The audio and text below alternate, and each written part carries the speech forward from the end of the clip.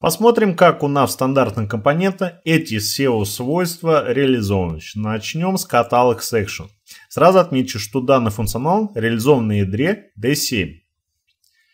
А здесь мы видим, а, собственно, функцию section value.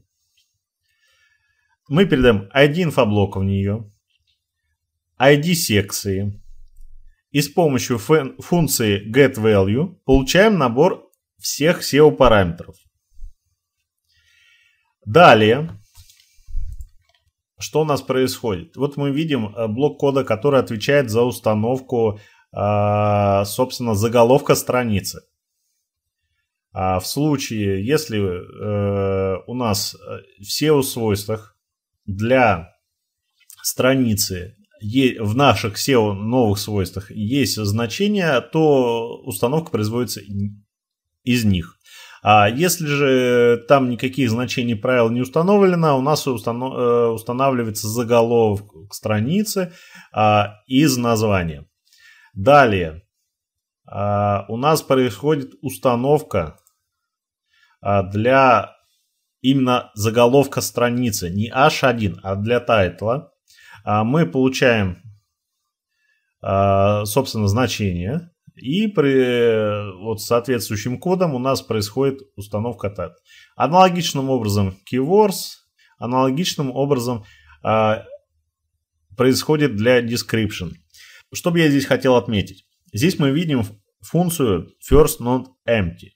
Это не какая-то специфичная функция. Эта функция получает список значений, неограниченный по длине.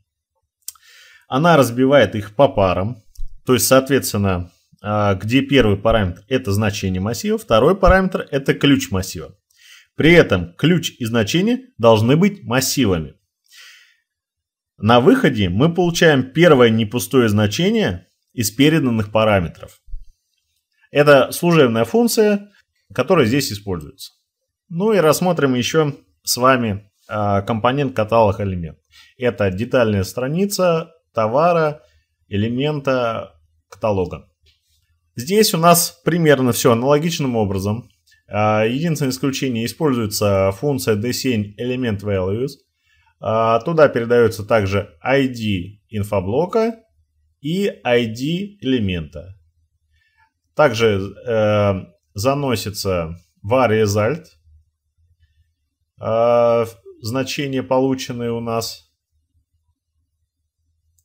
И установка, собственно, происходит аналогичным образом – собственно, устанавливается заголовок страницы, устанавливается title, то есть заголовок браузера, а keywords и description.